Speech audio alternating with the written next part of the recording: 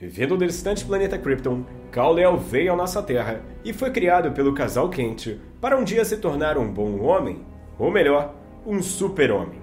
Mas teve uma coisa que eu sempre me perguntei, é como ele foi muito sortudo, porque enquanto sua prima Cara Zor-El e seu cachorro Krypto ficaram anos perdidos no espaço, o Superman conseguiu vir de primeira direto para a Terra. Mas e se algo tivesse dado errado nessa viagem? E se algo tivesse acontecido de diferente e deixasse o Superman preso no espaço? Mas, ou melhor, o que aconteceria se o Superman nunca tivesse chegado à Terra? E o que aconteceria se o Superman tivesse crescido em Marte?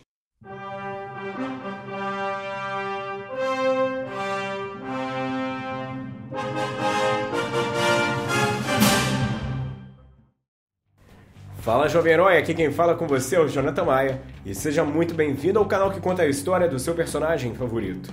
E esse é o nosso quadro Se, onde reimaginamos alguns eventos dos quadrinhos que poderiam ter acontecido de uma maneira diferente.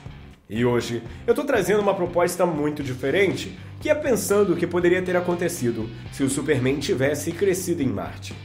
O nosso primeiro ponto que temos que falar aqui é que não, o Superman não ia ficar como uma criança morta em Marte por não ter nenhum nutriente e ser abandonada a qualquer sorte.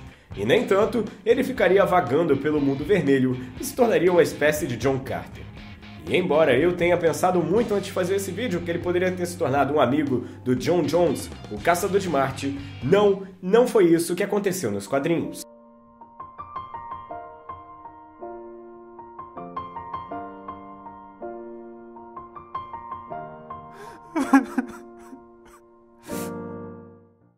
Uma contada na revista Superman número 417, Clark Kent é reimaginado, com o foguete dele ao invés de indo parar na Terra, parando em Marte.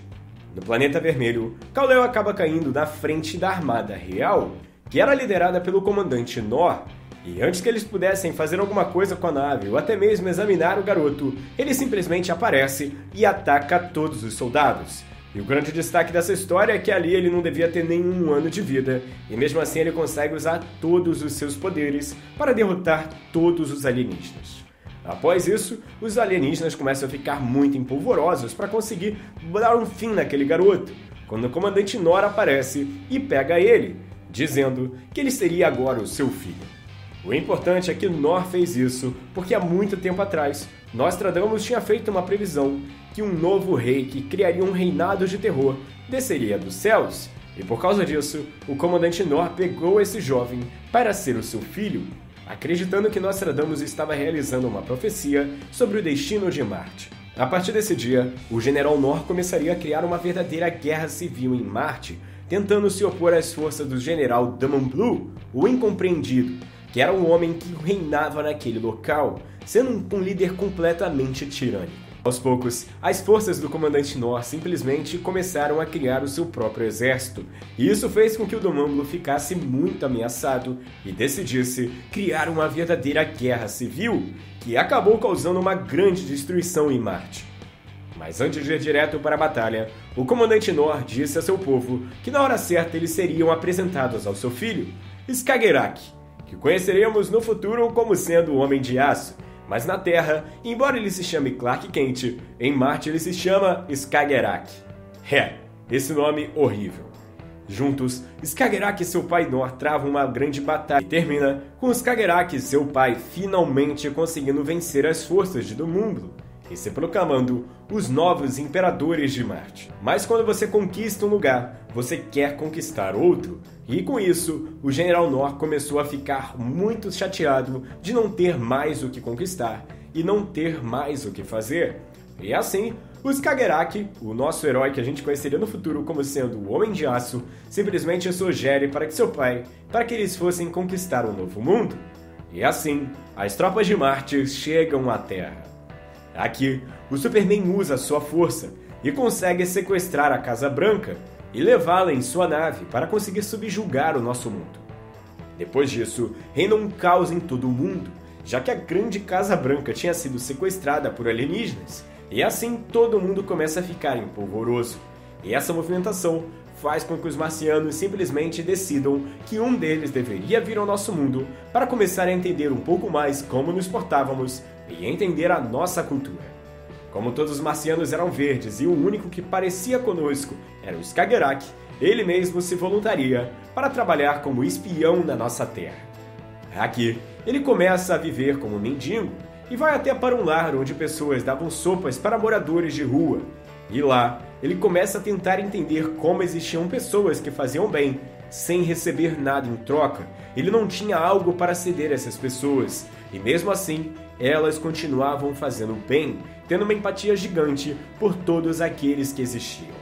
Enquanto Skagerrak estava na Terra, as forças dos Estados Unidos decidem fazer um ataque com caças contra as forças marcianas e simplesmente acabam sendo derrotadas muito facilmente, porque eles não tinham poder suficiente para conseguir subjugar os alienígenas. Depois disso, o Skagerrak sai do abrigo e acaba conseguindo um emprego como Papai Noel, quando presencia um roubo realizado a uma moça, e para conseguir impedir o assaltante, ele utiliza seu sopro gelado, fazendo com que o jovem acabasse caindo no chão e fosse pego pela polícia. Depois disso, a moça que foi quase assaltada decide pegar o dinheiro que o assaltante roubou dela para doar para a caridade, deixando todo o dinheiro onde estavam os Papai Noel, ou melhor, o nosso Skagerrak.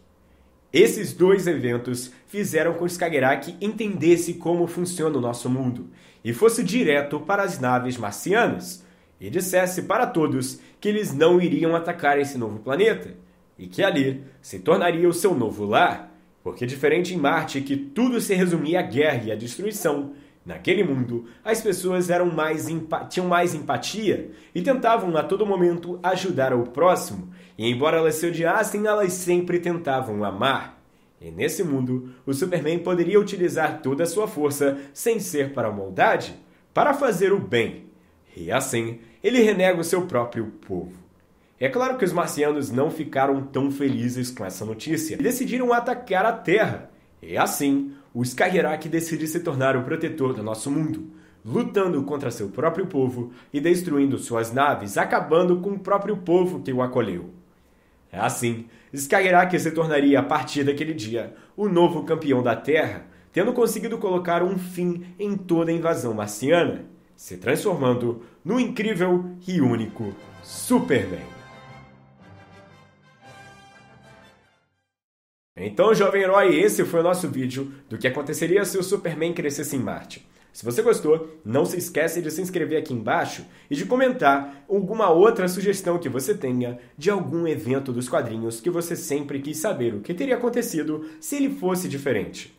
Nesse quadro, estamos sempre trazendo toda quarta-feira vídeos novos contando algo que poderia ter acontecido de diferente nos quadrinhos. E é por isso que esse quadro se chama E se?